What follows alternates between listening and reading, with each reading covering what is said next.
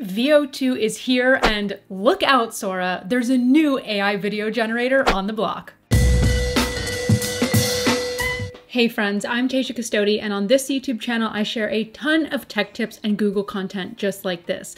So what is Veo 2? Do you remember back at Google I.O. 2024, Google announced Veo, an all new generative video model? Well, they did, and it's finally public. So, just like that, we've got a Google Veo 2 update. You know Google loves a good naming convention, and its name for this particular generative video model is Veo 2. And Veo 2 allows you to transform text based prompts into high resolution, 8 second videos. Google says Veo 2 was designed to produce detailed videos with cinematic realism. They say Veo 2 can understand real world physics and human motion and therefore deliver fluid character movement and lifelike scenes. These sample videos shared by Google really are something else. So let's see it for ourselves in action, shall we? Here's how to create AI generated video in Gemini with Veo 2. From your Gemini Advanced drop-down menu, you're gonna want to ensure you have Veo 2 toggled on. Here you'll be able to see that you can generate an 8 second video from text and that videos are landscape and in 720p resolution.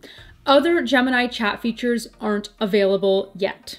Now, this is the perfect time to make a quick distinction. Back when Google announced Veo in 2024, they said that we'd be able to generate 1080p videos and that you'd be further able to edit the videos using follow up prompts. And they said that you'd be able to storyboard in Veo and maintain consistency from shot to shot, which, if worked as advertised, would be a complete game changer in the video production space. So to be clear, this rollout as of today is 720p resolution and there is no further editing and no storyboarding, at least as of right now. But I want you to keep in mind about where this is going in the future.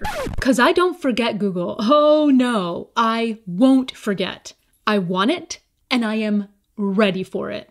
But I digress. Back to the launch features of Veo 2 that we have at hand. In the prompt box, you're simply going to describe the video you'd like to create. And keep in mind, you can add as many style details as you'd like here. So for this, maybe we want to create a hyper-realistic video of a border collie herding sheep in the Italian countryside. Let's click on submit. And here it's going to take a minute or two to generate our eight second video. And you don't have to stay on that screen. You can come back to it when it's ready. So for this particular example, it took under a minute to generate the video. And would you check this out? On the first try, it has generated a video of a border collie herding sheep in the Italian countryside. Wowza. Can you believe? We'll get to nitpicking this in a moment, but from here you can click that share icon under the video to share it via a public link or write to different social media platforms. Or you can hover over the video and then you can click on the download video option in the top right to download the video. So now let's take a look at our downloaded video. All right, so, sure, it's the chillest border collie I've ever seen, especially for herding, but other than that, I really can't believe my mind is blown. All of the right number of legs are there. There's no heads moving around or body shape shifting or things places where they shouldn't be. This is incredible. So remember, the more detailed your prompt, the more control you'll have over your video. So at the risk of killing all the trees on planet Earth by generating silly little videos, let's just try one more fun example. All right, let's try a wide, slow panning shot of an old Montreal street in the sunset light of summer. A couple holding hands is seen from behind, casually strolling down the street away from the camera. Capture the essence of summertime in Montreal. Okay, now I've sped up the generation time here, which by the way was still under a minute. And would you look at that? Truly incredible. And keep in mind, we could have been as detailed as we wanted about what this couple was wearing or who was walking on what side or what have you. Wow. Now, in fairness, I don't really know what the shop signs say here, but do we care? We created a scene in less than one minute flat that is so realistic.